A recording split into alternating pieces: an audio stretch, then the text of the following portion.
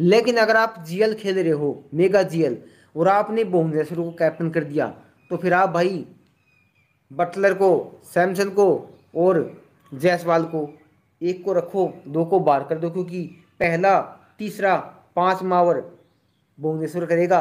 ये आपको बताता हूँ पहली बार में, ये देख लेना। लेकिन अगर आपने रखे तीनों के तीनों, राजस्थान के प्लेयर मेगा जीएल में तो आप भुवनेश्वर को ड्रॉप कर दो भाई, क्योंकि अगर भुवनेश्वर ने विकेट नहीं लिए तो आपका एक प्लेयर ख़त्म हो जाएगा।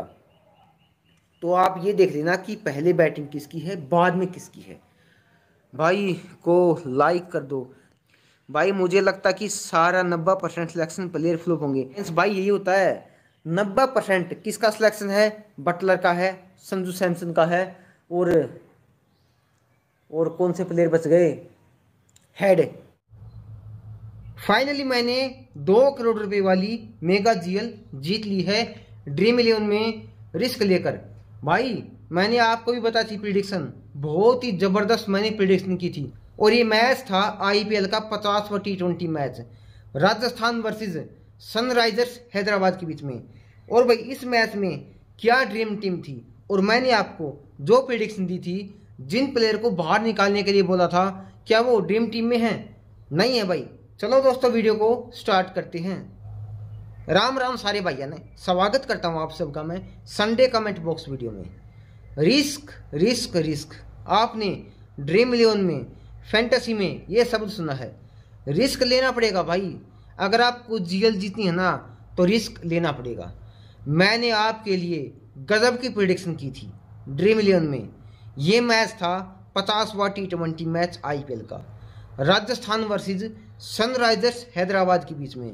पता मैंने आपके लिए कैसी प्रिडिक्शन की थी? तो सुन लो भाई। हाँ अगर किसी भाई को मेरी बात पर यकीन ना ना तो आप मेरे उस लाइव सेशन को देख सकते हो, जो कि अभी भी यूट्यूब चैनल पर है, इसी चैनल में है। तो सुन लो भाई, मैंने आपको बहुत सी प्रिडिक्शन दी थी। सबसे पहली प्रिडिक्शन अगर आपने भुवनेश्वर कुमार को जीएल में लिया है कैप्टन किया है तो आप ना जायसवाल, बटलर, सैमसन, ये आते टॉप होल्डर में राजस्थान का टॉप होल्डर आप किसी एक को ले लेना। और क्या हुआ? भुवनेश्वर कुमार ने उन्हीं दो प्लेयरों को पहले ओवर में चलता कर दिया। क्या गजब की बॉलिंग की भाई।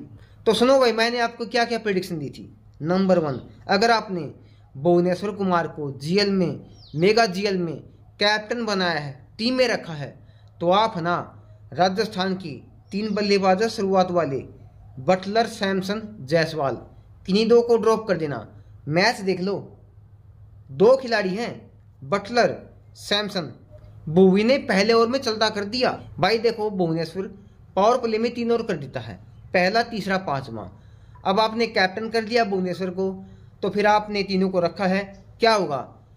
अब आपने विकेट के लिए रखा भुवनेश्वर को पावर प्ले में। तो पावर प्ले खत्म। कोई विकेट नहीं तो आपका कैप्टन फ्लोप आप वहीं हार जाओगे, आपका दो करोड़ का सपना वही रह जाएगा।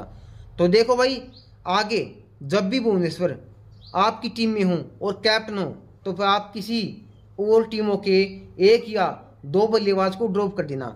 उसके बाद एक और प्रिडिक्शन मैंने क्या बोला था? नीतीश रेड्डी नीतीश रेड्डी आपकी टीम में होनी चाहिए। उसके बाद मैंने आपको और प्रिडिक्शन दी थी।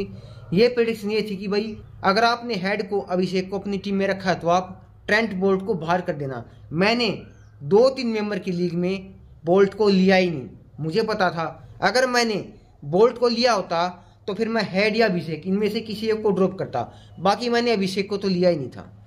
तो भाई, ये थी प्रिडिक्शन मेरी। और आपको दिखाता हूँ मैं भाई, कि यहाँ पर भुवनेश्वर ने भाई, क्या गजब की बॉलिंग की और कितने पॉइंट लिए? भुवनेश्वर ने सत्तानवे पॉइंट लिए, सत्तानवे पॉइंट और भुवनेश्वर का सिलेक्शन मात्र पंद्रह का था। फ़ोटो देख लो।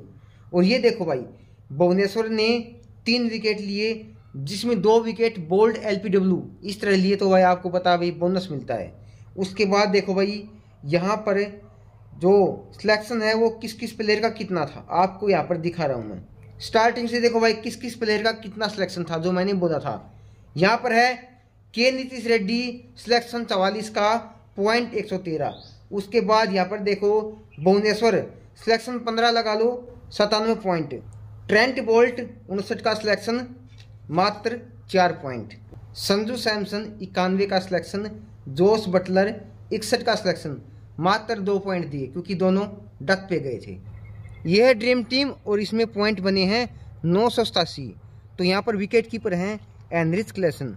देखा ना, दोनों ही विकेट कीपर। जो विकेट कीपर सेक्शन में थे, जोश बटलर, संजू सैमसन, दोनों है नहीं, क्योंकि दोनों को चलता कर दिया था बोविन ने। मैंने बोला था कि बोविन को आउट कर देगा। उसके बाद जैसवाल जैसवाल बचे हैं और मैंने बोला था, अगर आपने बोवी को लिया है तो आप किसी एक बल्लेबाज को रखना। उसके बाद ट्रेविस हेड हैं, रोमन पावेल हैं, नीतीश रेड्डी हैं। और मैंने बोला था, नीतीश रेड्डी आपकी टीम में होनी चाहिए, और मैंने दो तीन मेंबर में नीतीश रेड्डी को लिया भी था। 113 पॉइंट थे इनके, और कप्तान हैं 226 पॉइंट। उसके बाद रियान पराग। उसके बाद मार्को येंसन भुवनेश्वर कुमार सतानवे पॉइंट। टी नटराजन बासठ पॉइंट। आवेश खान, बासठ पॉइंट। पैट कमिंस, चौवन पॉइंट। तो भाई, ये है ना ड्रीम टीम का हिस्सा बने हैं ग्यारह प्लेयर और भाई देखो, आप भी है ना, ड्रीम टीम आराम से बना सकते हो, लेकिन आपको प्रिडिक्शन करनी पड़ेगी। बढ़िया प्रिडिक्शन जिस तरह मैं करके आपको देता हूँ प्रिडिक्शन मैंने बोला था, नीतीश रेड्डी, आपकी टीम में होनी चाहिए। अगर वो भी आपकी टीम में है तो आप ना किसी दो बल्लेबाजों को ड्रॉप कर दो। सीधी सी बात है, अगर आपने तीनों को रखा है तो आप भुवी को आउट कर दो, क्योंकि भुवनेश्वर अपने तीन और पावर प्ले में ख़त्म कर देगा, फिर क्या फ़ायदा भुवनेश्वर को रखने का? अगर आपने बोवी को रख लिया बटलर को रख लिया जयसवाल को रख लिया सैमसन को रख लिया तो आप कभी भी ज़िंदगी में जीएल नहीं जीत सकते। और आप इस तरह का कॉम्बिनेशन करके कभी भी जीएल नहीं जीत सकते। दो करोड़ वाली, तीन करोड़ वाली, एक करोड़ वाली। भाई देखो, जीएल जीतने के लिए, मेगा जीएल जीतने के लिए कॉम्बिनेशन बनाना पड़ता है। आपको ये देखना पड़ता है भाई कौन सा बॉलर कहाँ पर बॉल डालेगा डेथ में डालेगा पावर प्ले में डालेगा। अगर कोई बॉलर पावर प्ले में बॉलिंग करता है तो फिर आप सामने वाले, सामने वाली टीम के दो में से किसी एक ओपनर को रखो, एक को ड्रॉप कर दो। तो भाई, आप मेरी प्रिडिक्शन को फॉलो करोगे ना तो आप ड्रीम इलेवन में कभी न कभी भाई करोड़ों की जीएल जीत सकते हो। तो भाई ऐसी प्रिडिक्शन होती भाई हमारी इस यूट्यूब चैनल में। और भाई, अब तो आईपीएल है, आगे टी ट्वेंटी वर्ल्ड कप आएगा, उसमें आपको मैं बहुत बढ़िया बढ़िया प्रिडिक्शन करके दूँगा मैं तो आप अपने भाई को सपोर्ट करो, कितनी बढ़िया प्रिडिक्शन करके आपको देता है। और ख़ुद मैं फॉलो भी करता हूँ। हालाँकि उस मैच में मैंने नीतीश रेड्डी को कैप्टन नहीं किया, सिर्फ़ टीम में रखा। मुझे पता था कि भाई, आज है ना मार्कराम नहीं है। तो नीतीश रेड्डी का काम बन सकता है बॉलिंग से, बैटिंग से। हालाँकि बॉलिंग कम ही की थी, लेकिन बैटिंग में भाई क्या ज़बरदस्त पॉइंट दिए। मैंने हेड को कुछ नहीं बनाया उस मैच में। मुझे पता था, आज मार्क राम नहीं खेल रहे तो नीतीश रेड्डी आज अच्छे ऑप्शन बन सकते हैं जीएल के मेगा जीएल के चलो भाई, मैंने कैप्टन तो किया नहीं, लेकिन टीम में रखा। और मेरी जो लीग में अपोनेंट आई थी ना, उनके पास नीतीश रेड्डी था ही नहीं। बहुत से भाइयों ने मार्क राम को लिया था तो मैं तो जीत गया भाई। प्रडिक्शन करके तो आप भी हमारी प्रडिक्शन को फॉलो करो और आराम से भाई ड्रीम मिलियन में जीतो। तो दोस्तों, और हाँ भाई, एक भाई का कमेंट आया था। आपको दिखाता हूँ मैं। इन भाई का कमेंट है, लाला जिस्क्रियाल। ये नाम इनका, नाम थोड़ा भाई लंबा अभी तक। इन्होंने कहा, मैं भाई आपकी तरह से रिस्क लेता हूँ तो भाई रिस्क लेना चाहिए भाई। अगर मैं नहीं लेता तो आपको लेना पड़ेगा। और हाँ चेन्नई का बल्लेबाज है, चेन्नई का कैप्टन ऋतुराज गायकवाड़। उसने भाई दो मैचों में पचास प्लस का स्कोर कर दिया। तो मैंने लाइव में बोला था कर कि आपने ऋतुराज गायकवाड़ को आज ड्रॉप करना है। तो भाई वो प्रिडिक्शन भाई, बहुत से भाइयों के काम भी आई तो भाई ऐसी प्रिडिक्शन मैं आपको करके देता हूँ। तो भाई ये हमारी संडे कमेंट बॉक्स वीडियो जिसमें आपके क्वेश्चन होते हैं और मेरे आंसर होते हैं। क्यों वीडियो है। तो दोस्तों, अगली संडे कमेंट बॉक्स वीडियो में फिर आपके सामने मैं एक और ऐसी वीडियो लेके आऊँगा मैं। और दोस्तों, मैं ना, शाम को पाँच या छः बजे के बीच भाई लाइव आता हूँ। तो लाइव में भी आया करो भाई हाजिरी लगाया करो अपनी, ताकि आपकी हेल्प हो अच्छी से अच्छी टीम बनाने में। तो ठीक है दोस्तों, फिर मिलेंगे एक और ऐसी ही संडे कमेंट बॉक्स वीडियो के साथ।